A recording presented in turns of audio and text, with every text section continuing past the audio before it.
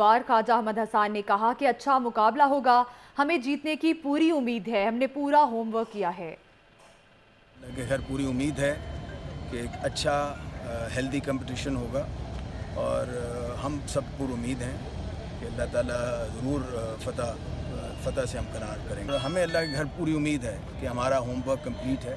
कि मैं किसी का नाम या किसी की बात करना नहीं मैं चाहता इस वक्त। मैं सिर्फ़ ये अर्ज़ करना चाहूँगा कि अलहमदिल्ला वो एक देखिए ये एक आपका वही एक लार्जर ग्रुप है पूरे पंजाब के अंदर जो हमारी पार्टी में भी रहे हैं और फिर उधर चेंज किया है गए हैं। तो एक हमदर्दियाँ और सिंपथीज तो ज़रूर होती हैं लोगों की एक दूसरे के साथ। वी एक्सपेक्ट एंड होप इंशाल्लाह they will vote for candidate जिसको वो समझते हैं कि जो